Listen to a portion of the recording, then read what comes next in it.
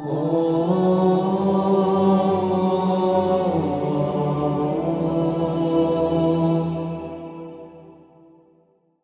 الله الرحمن الرحيم.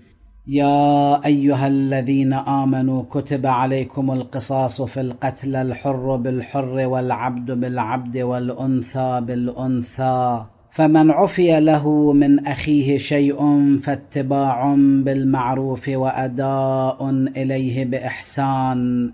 ذلك تخفيف من ربكم ورحمة فمن اعتدى بعد ذلك فله عذاب أليم.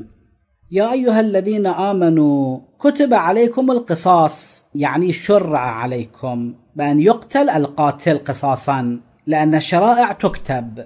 في القتلى جمع قتيل ولكن يلزم تحقق مجموعة من الشروط في هذا القصاص ومنها التكافؤ بين القاتل والمقتول الحر بالحر والعبد بالعبد والأنثى بالأنثى يعني الحر بمقابل الحر بدلا منه والعبد بمقابل العبد والأنثى تقتل بمقابل الأنثى فمن عفي له من أخيه شيء فالقاتل الذي عفي له من قبل أخيه شيء أخيه يعني ولي المقتول وقد سمي اخا للقاتل استعطافا. شيء يعني حق بأن ترك ولي الدم القصاص وعفى عن القاتل واستبدله بالدية أو عفى عن بعض الدية وطالب بعضها. فاتباع بالمعروف وأداء إليه بإحسان يعني الواجب على الطرفين مراقبة الله تبارك وتعالى في الأخذ والإعطاء. فمن طرف ولي الدم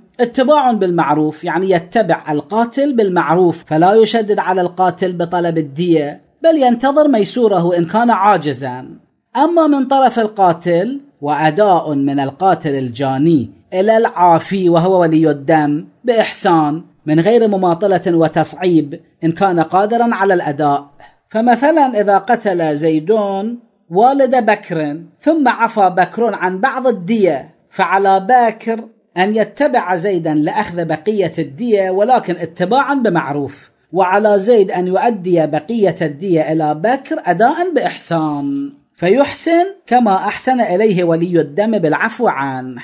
ذلك تخفيف من ربكم ورحمة. هذه الأحكام في باب القاتل بالمماثلة والتكافؤ والتخيير بين القصاص والدية والعفو والاتباع بالمعروف والأداء بالإحسان. تخفيف على الناس من ربكم أو تخفيف عما كان عليه المشركون وغيرهم من البطش ونحوه.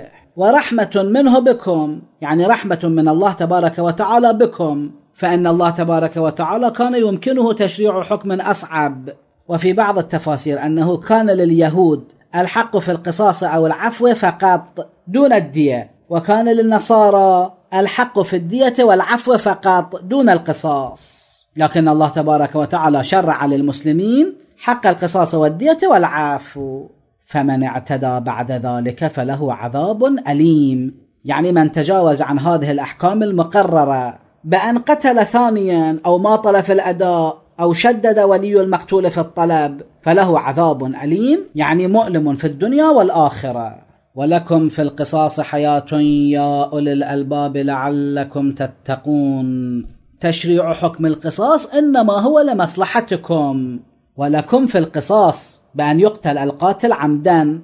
حياة للمجموع لأنه من أسس قيام مجتمع سليم. كما أن تشريع القصاص رادع قوي عن ارتكاب القاتل. لأن كل من يفكر أنه لو قتل قتل ارتدع خوفا من القصاص إلا النادر. فتشريع القصاص يسبب بقاء حياة الناس. هذا بالإضافة إلى أن تشريع القصاص يوجب عدم تعدي أولياء المقتول على أقرباء القاتل فيهجم عليهم ويقتل منهم عددا كثيرا كما كان من المتعارف سابقا في زمن الجاهلية. حتى ربما فنيت القبيلة لأجل قتيل واحد. بل الآن متعارف أيضا في كثير من المناطق المتخلفة.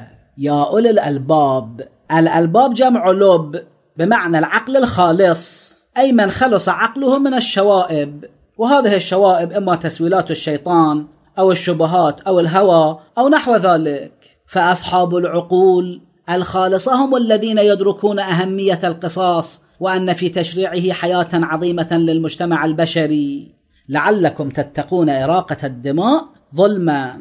فقد شرع القصاص حتى تتقون القتل وفي الحديث عن الإمام السجاد عليه السلام عباد الله هذا قصاص قتلكم. لمن تقتلونه في الدنيا وتفنون روحه ألا أنبئكم بأعظم من هذا القاتل؟ وما يوجب الله على قاتله مما هو أعظم من هذا القصاص. قالوا بلى يا ابن رسول الله. قال أعظم من هذا القتل أن يقتله قتلا لا ينجبر ولا يحيا بعده أبدا. قالوا ما هو؟